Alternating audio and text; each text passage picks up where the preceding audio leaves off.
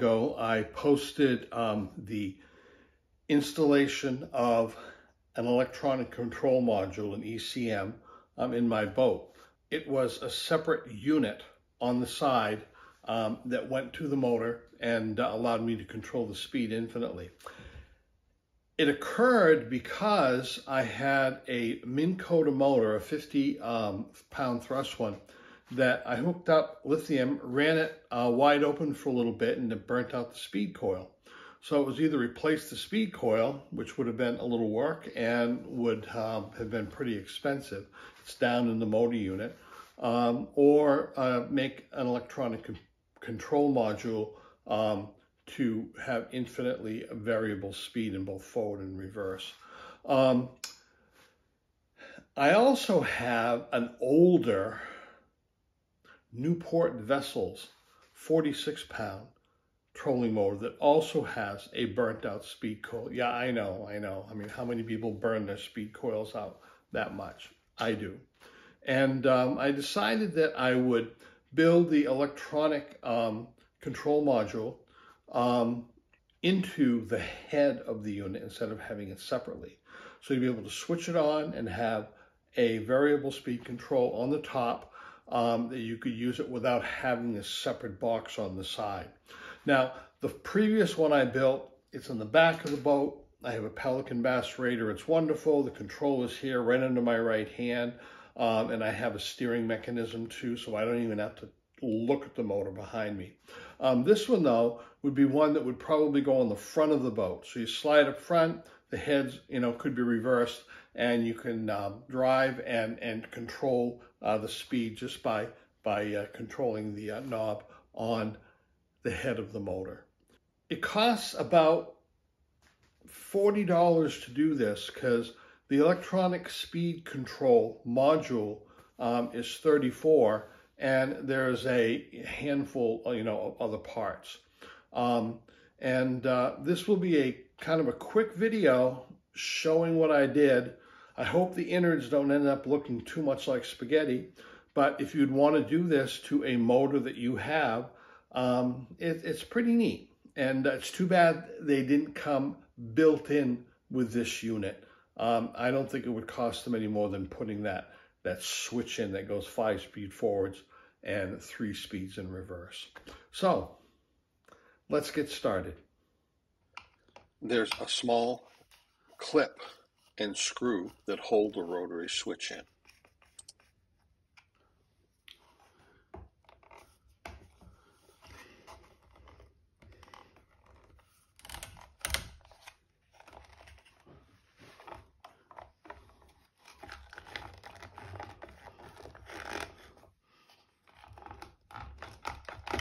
The switch and the control handle can be lifted out as one unit.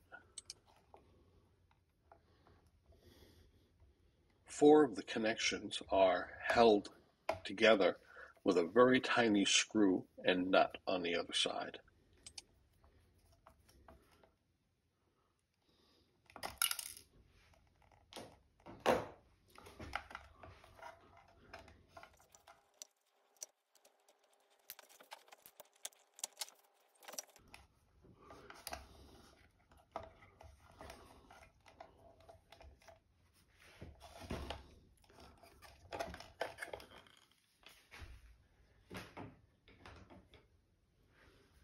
Two of the connections that control other speeds that we won't be using just pull off. Okay, so all of these wires connected to the switch. And this is the one that goes directly to the motor, these two. Um, so these are the ones that would just be powering the motor down there.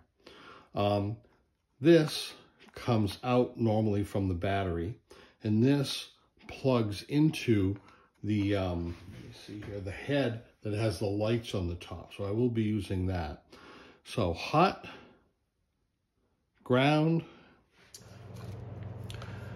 This device right here is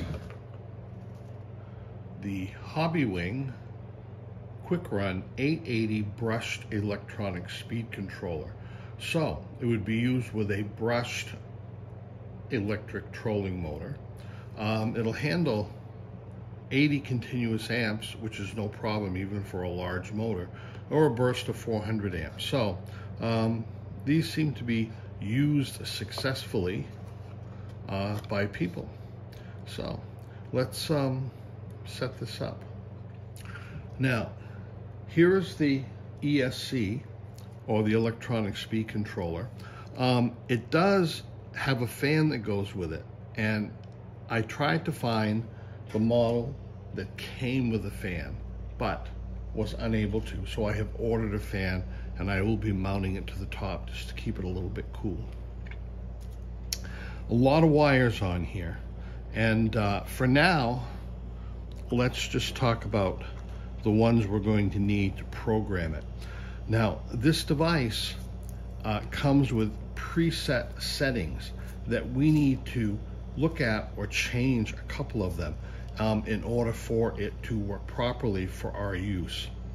And in order to do that, you need a programming card. It's a little device that allows you to digitally change the settings on this speed controller. And the programming card comes with this cable, this three wire cable that plugs into the top of this. And when you plug it in, you want it on the right side with a white wire facing out. Don't worry about these other wires now. And if you lift these up, you will see another three pin connection that allows you to plug it in and the white wire should be facing in towards these red heat um, fins here. Now it comes with this little set of programming directions and they're 1 through 15, but we just need to change a couple of them and then look at a couple others. So um, once you get yours, you might be able to see it a little bit differently. But the first one is running mode. And you can have it so it just goes forward and brakes, forward, reverse, and brakes. Or this third one that you can't see because I marked over it is just forward and reverse. So programming mode one, we will want option three. The gray area is what it is set to. Programming mode two, I'm gonna bring it to your attention because setting one is for lithium batteries. And um, that is what I'm going to be leaving at because I have lithium batteries, which I think got me into this problem to begin with. The cutoff voltage, you can disable it, you can make it auto or auto medium, and we are going to leave that at three.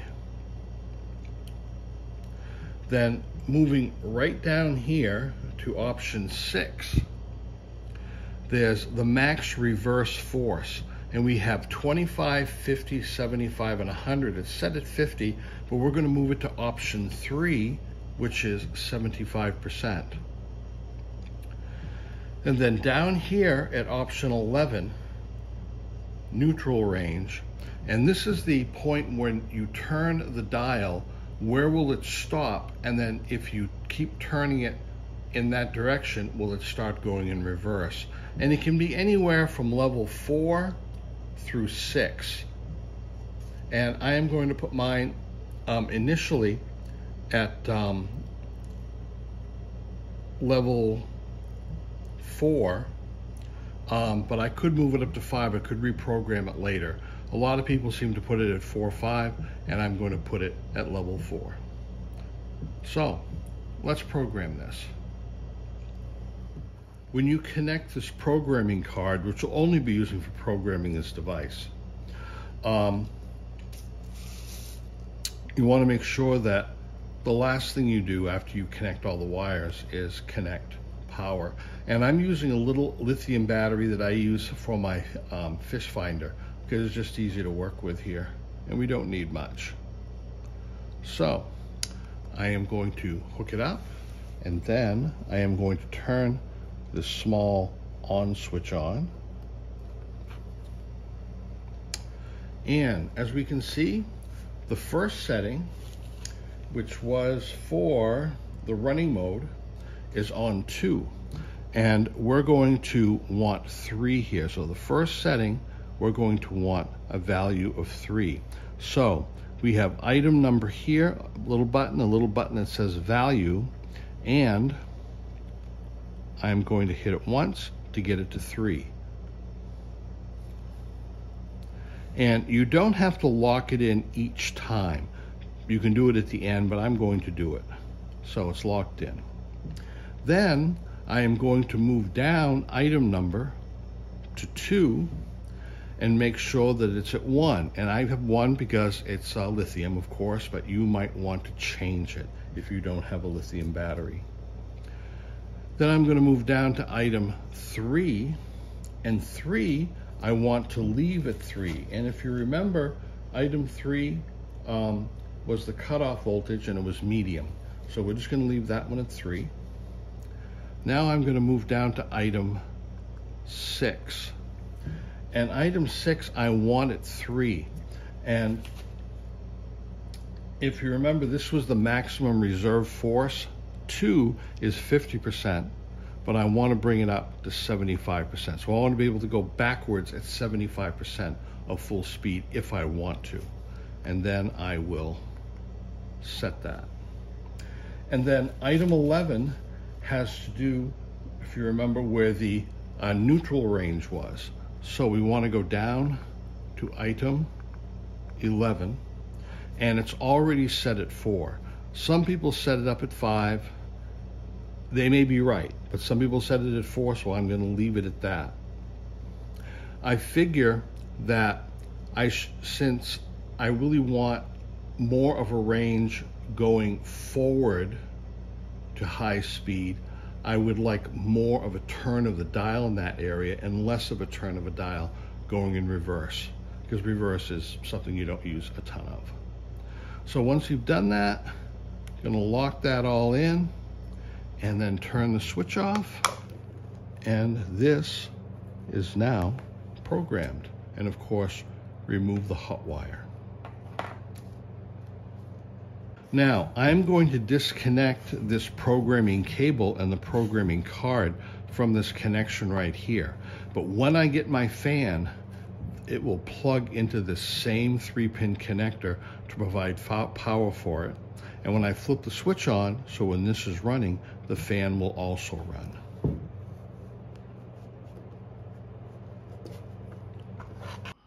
When I connect it to the battery, we just get full speed.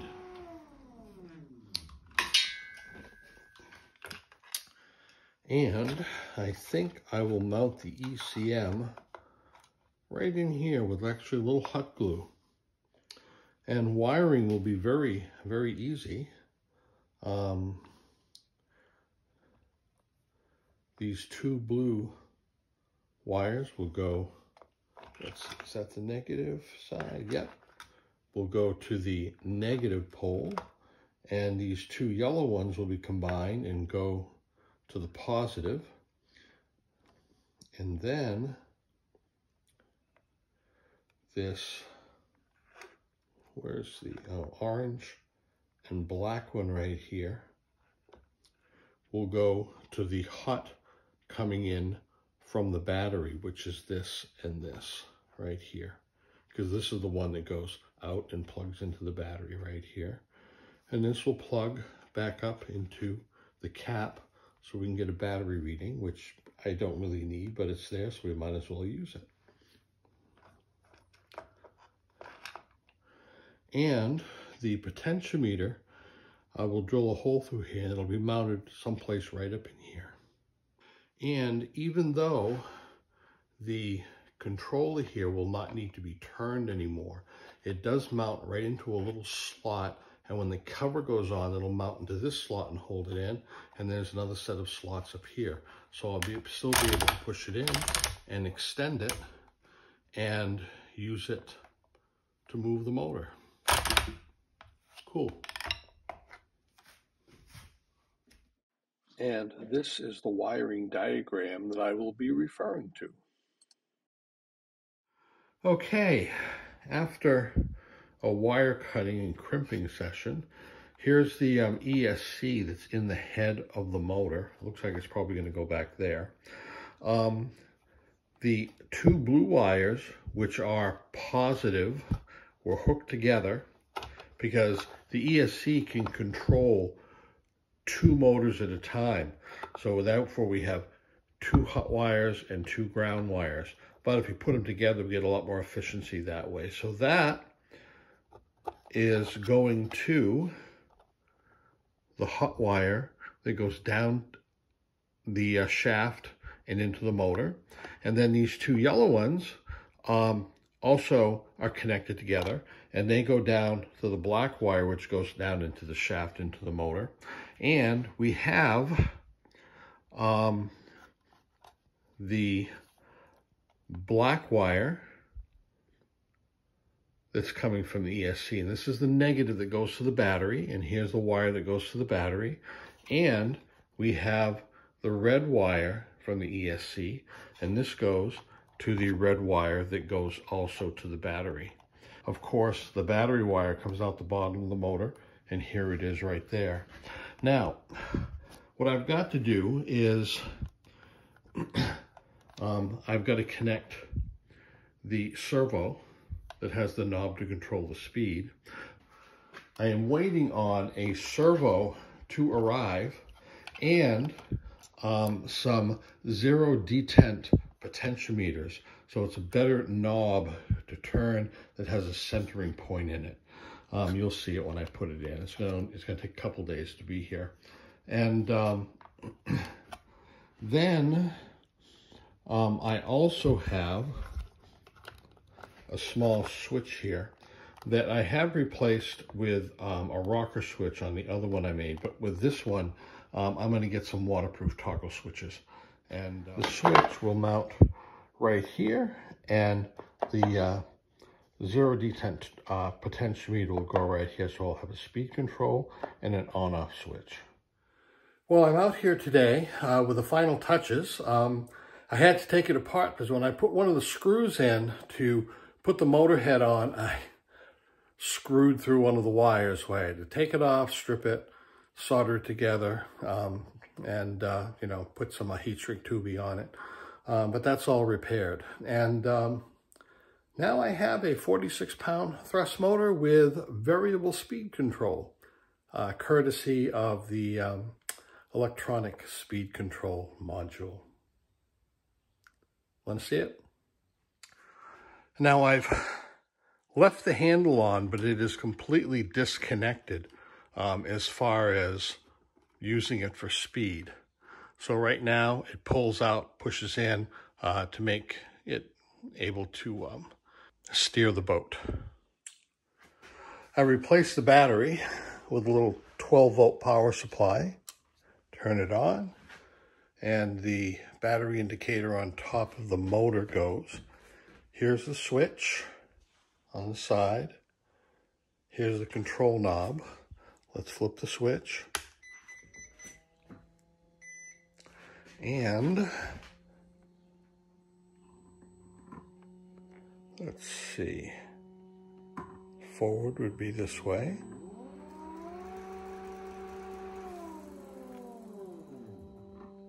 And reverse would be this way. And the potentiometer with a little red line facing the front is the zero point.